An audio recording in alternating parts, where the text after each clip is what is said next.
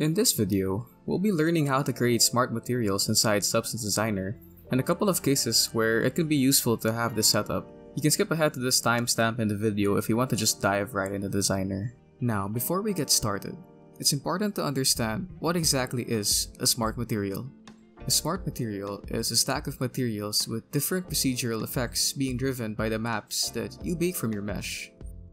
While it's way more convenient and much faster to just stack materials up inside Painter, the problem with that approach is that smart materials inside Painter are saved in the .spsm format. That means you can only open these smart materials inside Painter. So if you wanted to modify certain parameters like the color or the roughness of the asset, you would either open the project file and modify the effects in the layers yourself or if you don't have the actual project file, you will need to manually modify the map inside an image editing software like Photoshop or Krita. That's where making smart materials inside Designer might come in handy. Now that we have Substance Designer open, let's just go click on Add a new substance. It'll bring up the templates window, then click on Painter Filter, specific with additional maps. What this template has are your usual PBR metal rough nodes and also some additional input nodes at the bottom. This is where we'll be plugging in our baked maps for our smart material. This template doesn't have a normal output though, so let's just add an output, set the identifier name to normal, type in normal as the label, and then type in material under group, and then let's just set the usage type to normal. Now we can start with our basic material. I'm gonna add a base material and a rust material I got from Substance Source, and then blend them both using a material blend node. Now we need a mask to drive the amount of rust on the metal. I'll just add in a grunge map 02 node, use levels to crank up the contrast, and then plug that in a slope blur grayscale node to get the sort of rusty spread effect. We can tile it a bit using a safe transform grayscale node. Then we can blend the dirt 1 node and set the opacity to 0.5 to add some speckles to it. I'm gonna blend in a grunge map to add a bit more variety to it, and that's our basic mask. Let's plug it in our material blend node, and there's our basic rusty metal material. We can add in a histogram scan node to be able to have some control over the rust amount and the rust contrast. Now to make this a smart material, let's import the mesh here and bake a map to test it out.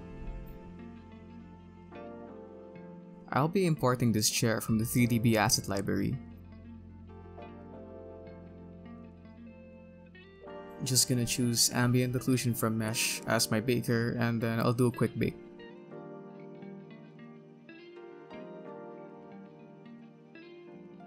We can plug that in and add a levels node to invert the values and make our mask affect all the occluded areas. Then we can blend that inverted AO map with a rust mask and then set that to multiply to add some variation.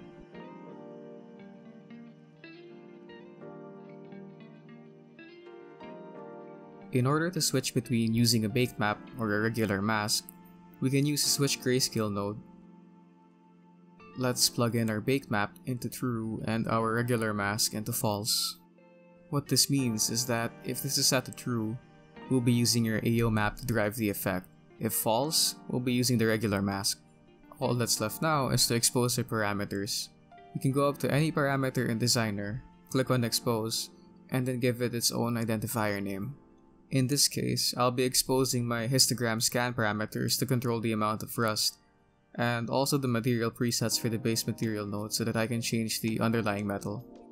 I'll also be labeling these parameters so that it's easier to read them.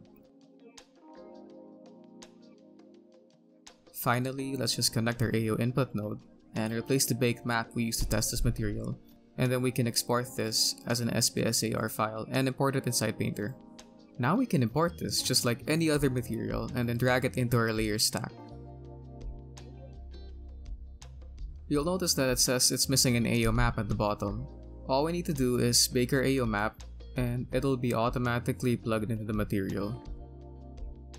Just set the use mask parameter to true and there's our occluded rust.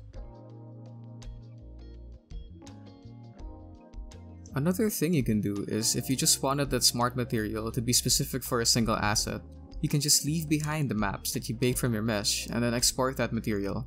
Now when you import the mesh and material inside Substance Player, all the parameters you have will be specific for that asset.